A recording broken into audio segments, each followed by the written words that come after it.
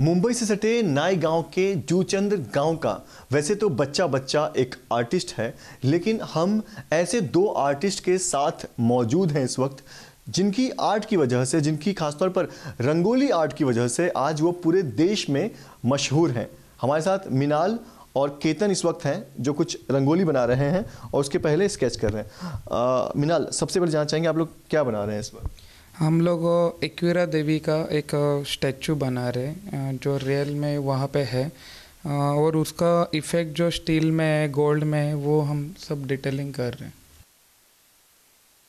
तो आप देख सकते हैं किस तरह से, बिल्कुल तस्वीर की शक्ल जो है, वो रंगोली लेती हुई दिखाई दे रही है। केतन और मीनार ने हमें माता एकवीरा देवी की खूबसूरत रंगोली बनाकर दिखाई। अभी भी केतन उस पर काम कर रहे हैं लेकिन एक खास तरह की रंगोली जिसके लिए ये दोनों जाने जाते हैं।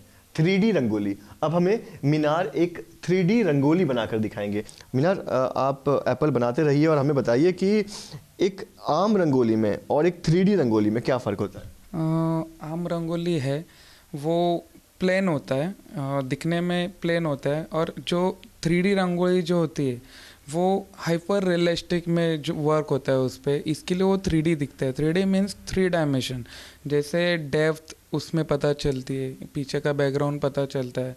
आ, या स्कल्पचर जैसे है समझो स्कल्पचर रखा तो स्कल्पचर को हम लोग थ्री में ही देखते हैं हमेशा। जैसे गणपति की एक मूर्ति है तो मूर्ति वो थ्री में होती है।